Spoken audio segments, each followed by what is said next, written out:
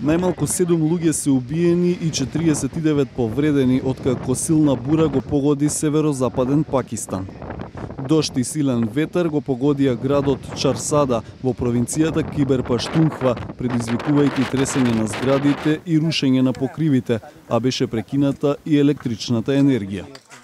Бурата исто така уништи импровизирани куки во кампови на внатрешно раселени лица во градот Бану, каде загинаа најмалку две деца и најмалку три други се повредени.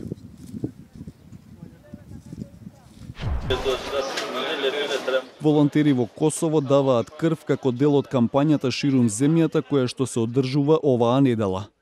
Во главниот град Приштина донаторите го дадоа својот придонес во мобилна клиника на плоштадот во центарот на градот. Слични клиники беа поставени и во други градови низ земјата. Медицински представници рекоа дека 80% од потребите за трансфузија на крв во земјата сега се собрани од страна на случајни донатори, а остатокот од членовите на семејствата на пациентите.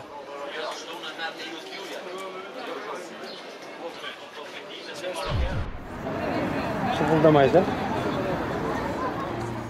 Киргистански демонстранти одржаа протест пред зградата на парламентот во Бишкек, откако законодавците дебатираа за нацрт закон за забрана на странски инвестиции во медиумите во земјата.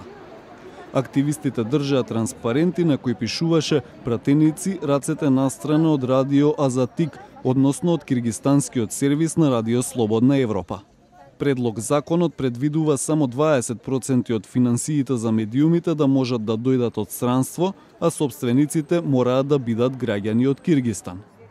Киргистанскиот сервис на Радио Слободна Европа со седиште во Бишкек со децении е главен независен извор на информации.